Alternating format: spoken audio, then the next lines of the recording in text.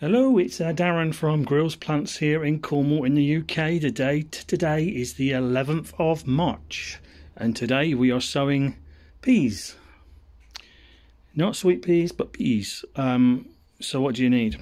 You need a seed tray, you need some compost, got plenty of supply of that. We also need some pea seeds. So, we're um, growing an early pea called Onward from CK Horticultural Supplies. Um, we always buy off them or Premier Seeds for our for our vegetables um, peas. Um, always get a good germination rate from both those companies. I've always grown onward because it's just such an it's uh, such a reliable pea. It's what you call a dwarf pea, so they will they will stand with a framework about three to four feet tall. Where some of the older varieties of peas, like say Alderman for instance, can grow up to six feet tall. Um, but you'll get a really good, decent pea crop out of onward, so there's no need to have a bigger plant. So why are we um, sowing them in seed trays? Because you can, if you wish to, you can sow them direct in the ground. Um, why we don't is because we back onto heathland. Um, we know from our trail cams we get mice, field mice in our garden at night. Um, when we're all asleep, we can see them on the trail cams. Um, so what we don't want to happen is us to direct sow the sweet, not sweet peas, direct sow the peas, and then the mice come up and dig them up um, and take them away.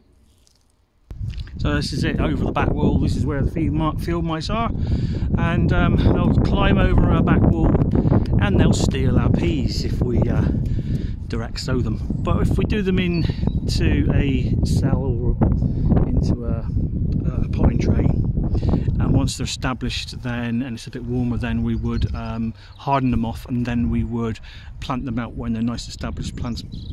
Mice tend to leave them alone at that point. Don't tend to dig them up. So here we are. I've been what I've been doing as I've been putting the compost in is sprinkling it through my hands to get rid of any major lumps. Now what I'm going to use my little tool here this one here and I'm just going to try and level it off a bit. So we've got a level surface to sow and then I'm going to lightly tap the soil down and then I go around the edge and I clean that up like that. Now if you don't have one of those tools it's no problem you can use another seed tray place it on top like so lightly press down with your hands and that will do the same job. So now for sowing the peas. So I'm just going to basically space them out going to have about five in a row. So when we actually take these out they're going to be easier to actually prise apart. When we plant them out we plant them in twos um, two plants together um, because they'll find their own way and you will have you know a nice big crop of peas doing it this way. So let me carry on with this. And if by magic there we are we've got 40 seeds all placed in the positions we want them. So what I'm going to do now is I'm going to you can actually do this single if you want. So think of your knuckle and think of your first knuckle. That's about the depth that you want the pea to be about there so you're basically poking it in to your first knuckle. Go around do the next one do the next one next one next one. If you're really clever can do two at once, two fingers, which is what I tend to do. Remember first knuckle.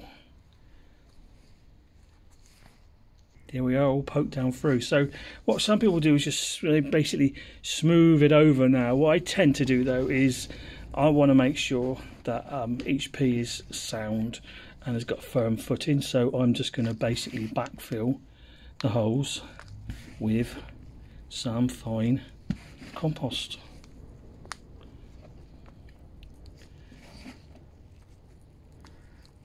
I don't know if you've noticed um, with my videos, I always say what date it is and where I am. The reason for that is that when I was myself looking at YouTube for advice, um, often they'll say, someone will say, now then, today we're sowing, say, peas, but they're not telling you where they are. Um, which is important because um, sowing peas in America would be a different time scale than if you were sowing peas, say, in the UK. and they don't tell you when they're sowing them. So I tell you when I'm sowing them because that's then you know if you're in the UK, I'm saying it's 11th of March, then you know 11th of March, okay, these are good to go. If I've got a greenhouse, I can sow them and put them in the greenhouse or a windowsill or a conservatory. So that's the reason I do that because I got so frustrated with the sheer fact that there is no real way of telling when someone's sowing something on YouTube about when's a good time to sow these things. So yeah, peas would be really greenhouse end of February, all the way through March, all the way through April. Um, May you could sow in May, depending on the variety of pea. Um, obviously, I'm growing an early pea, so um, you could still sow these in May, but you're going to get a later crop. Uh, and peas are a bit of a cool climate plant, so you know they like to grow sort of um, let's say in April and May, and then produce maybe their peas by the end of June. So before it gets to you know hot months of July and August. So what I'd suggest to you is have a label like this and write on there what it is and the date you sowed it. I keep I'm keeping a book now and I know what they'll be when they come up. I'll know when they germinate that these will be bees and they're onwards. So I'm going to be a bit lazy and I'm not going to use a stick. So I got this old uh, tinfoil tray which you'd uh, use to maybe cook a turkey here in the UK in over Christmas. Um, sort of disposable thing. And I basically fill this with water and then let the water come up from the bottom. Rather than me disturbing the seeds then I can feel that that is nice and damp and I'm going to remove this tray of peas and then put in my next one. And in goes the other one. In it goes. It's just suspended in there and what I'm going to do is top the water level up with my little watering can. So the water level is quite high. Give it five minutes come back. I'll be ready to go into my greenhouse. Um, if you want you can put like um, a lid on a see-through lid. Uh, it depends I guess how fast you want them to germinate.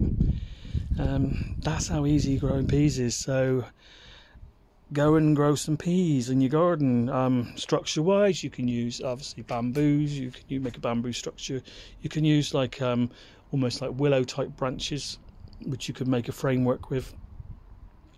We use an old um, stock fencing, let me show you quickly in the corner. So this is what they call stock fencing, which I managed to pick up on Marketplace for free um, from a lot Matia who was wanting to get rid of it.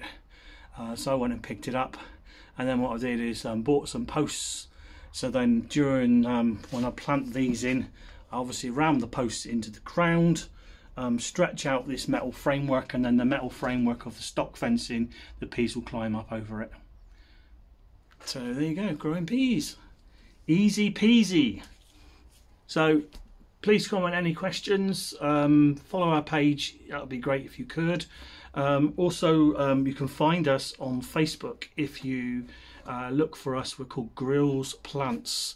Um, that's G R Y L L S for Sierra Plants. Take care.